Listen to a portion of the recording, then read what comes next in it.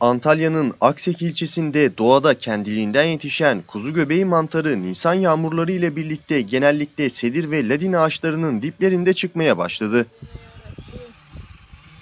Kuzu göbeği mantarı sezonunun başlamasıyla vatandaşlar mantarın toplanabileceği muhtemel alanlara akın etti. Bölge halkı için son yıllarda iyi bir gelir kaynağı haline gelen kuzu göbeği mantarı kilosu 80 ile 100 lira arasında değişen fiyatlarla satışa çıktı.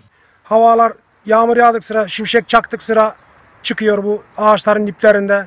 Zahmetli iştir ama işte buluyoruz. Zor şartlarda toplanan mantar Mayıs ayının sonuna kadar bulunabiliyor. Ee, çok vitaminlidir. Ondan sonra çok sağlıklıdır. Satanlar var 80-100 TL ama biz satmıyoruz. Genelde hep yiyoruz. İşte e, bu şekilde göstereyim size. Kuzulu mantarıdır bu.